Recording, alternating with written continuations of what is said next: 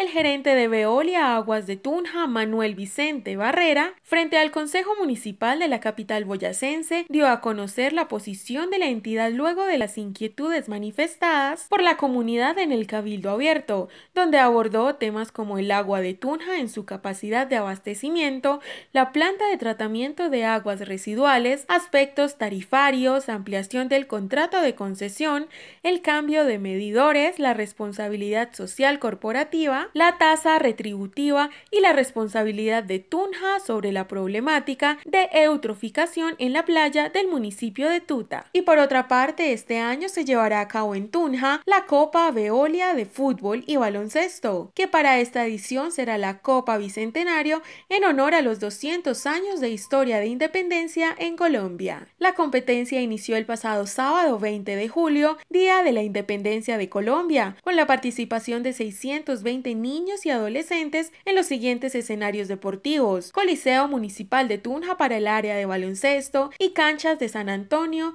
de Weimar Olivares, de Talento Boyacense, Julián Monroy y cancha auxiliar del Estadio La Independencia para fútbol. Los arbitrajes de los partidos estarán a cargo de la Escuela de Árbitros de la Liga de Baloncesto y el Colegio de Árbitros de Boyacá para fútbol.